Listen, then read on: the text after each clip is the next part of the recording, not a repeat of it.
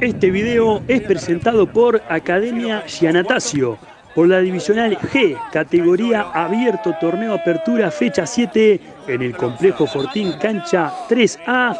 El equipo del Rijo gritó campeón, ganando y goleando a su rival de turno, el reptiliano que consiguió el 100% de los puntos. Le ganó absolutamente a todos, el único equipo en todas las divisionales que lo consiguió.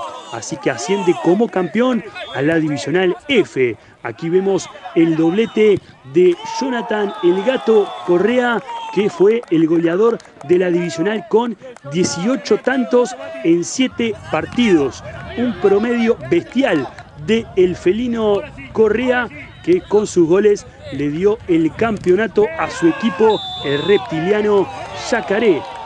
Por el lado de Camerún descontó Junior Cabrera. Además los goles de Yacaré, Matías Cabrera, Richard Ascurra y Cristian El Corcho Silva. La tabla de posiciones de esta divisional quedó con Yacaré con 21, Zorro Viejo ascendió también a la divisional F como escolta con 18 puntos y jugará el repechaje vino tinto que fue de menos a más en lo que fue del campeonato con 15 unidades. Camerún tenía que ganar para pelear el repechaje, no lo hizo y quedó cuarto con 12. Festeje reptiliano que tiene con qué.